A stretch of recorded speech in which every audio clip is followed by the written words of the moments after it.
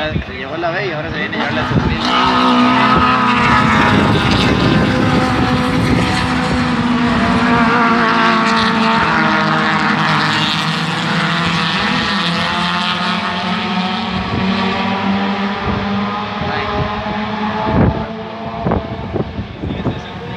Yeah.